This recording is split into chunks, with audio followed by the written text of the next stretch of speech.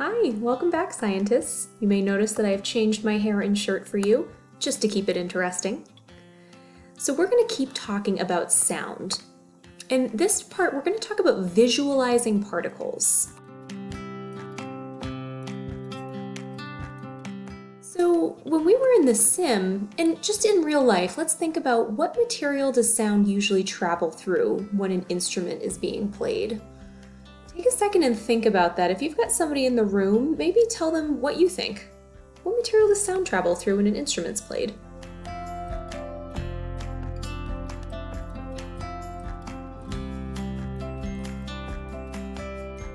So in the sim, the material that uh, sound travels through is air. If you've ever been to a concert and you've heard instruments being played, it's the same thing. It's traveling through air to your ears.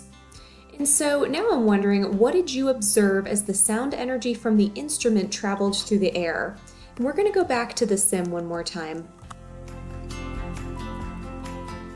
We're going to do one more example.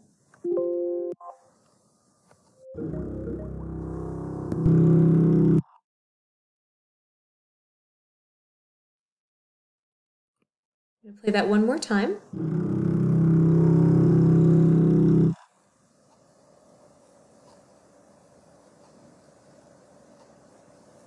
We'll do that once more with our violin again.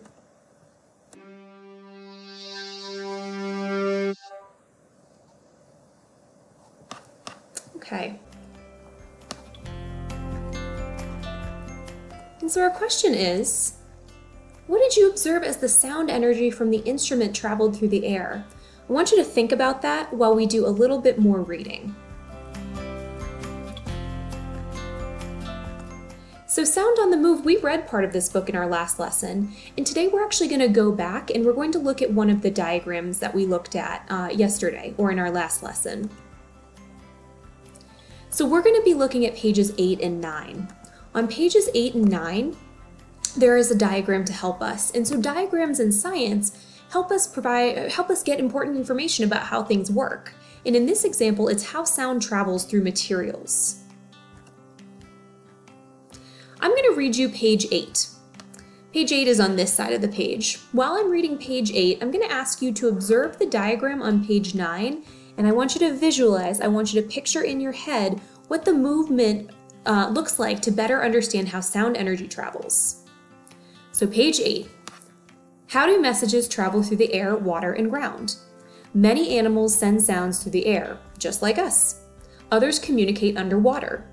Some animals even send sounds through the ground. The air, the water, and the ground are all materials. So is everything else you can touch. Materials are made up of millions and millions of tiny pieces called particles. Particles are too small to see, even with a microscope. We can't see particles, but we can visualize them. The diagram on the next page can help. Particles can move. Even in a solid material like the ground, particles can move a little bit. Animals send out sounds by moving the particles that make up materials like the air, water, and ground. Let's look at some examples of animal communication.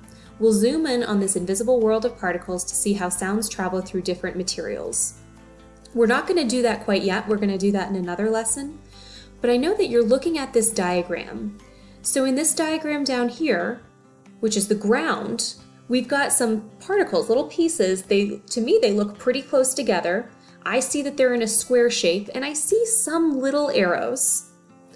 When I look here, I see the particles, they're still pretty close together, but they're not in a nice neat shape. I don't see them in a square. And I see more lines here. So I'm visualizing these particles moving a little bit more. And up here, we've got particles that are not very close together and it looks like they every single one of them has an arrow going on here. So I'm visualizing those all just shooting off in different directions. So the book tells us that everything is made of particles. The air around us, water, and solids like the ground. Materials are made of particles that are too small to see. And so that gives us one of our new vocabulary words, which you've heard me say, and that's particle. So a particle is a tiny piece of material that is too small to see. Now, I'm wondering what you observe about the diagram and what you might think the different parts represent. So I told you some of my ideas, and you might have some different ones. So if you have somebody in the room with you, this would be a really good time to share. Maybe show them the diagram and tell them, hey, this is what I see, and this is what I think it means. I also want you to think about what you observed in the sim. So based on what you read in Sound on the Move, what do you think the dots in the sim represent? So we're back in the sim. I'll choose a different instrument for you this time. Let's do a piano.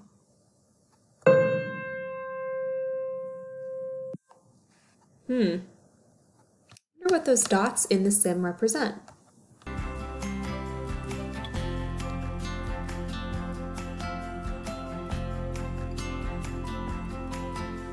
So based on what we read in Sound on the Move and what we observed in the sim today, I wonder what we can say about all materials, including water, air, and solids. I want you to make a prediction in your mind about what you think we're going to say about all of these materials. So what we're going to say is probably exactly what you were going to say, which is that all materials are made of particles that are too small to see. Absolutely everything is made of particles. Uh, my hand is made of particles, your shirt is made of particles, your computer is made of particles, everything is made of particles, your breath is made of particles. So, okay, now I know that everything is made of particles. And with scientist Rachel, I know one of the things that you did was you started making your sound diagrams from your mother dolphin to the calf, and you started talking about okay, how does the mother dolphin communicate with her calf? So I'm going to show you my wave diagram, or I'm sorry, my sound diagram that I started. So here's my sound diagram.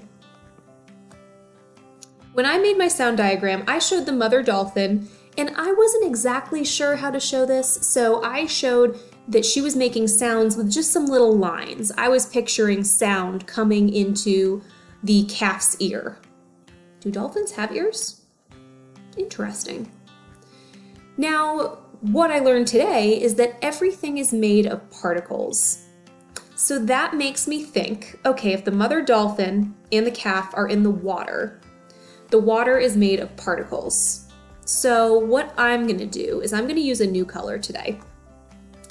And I'm going to start drawing all these little particles. I know they're not super easy to see, so maybe if I use a little bit thicker, there we go. These will be easier to see. And so I won't make you watch me put all of my particles in. I'll finish my drawing later so that I can share it with you the next time that we talk. But that's what I'm going to add to my sound diagram. You might be adding something different, and I would be super excited to see and hear about what you created.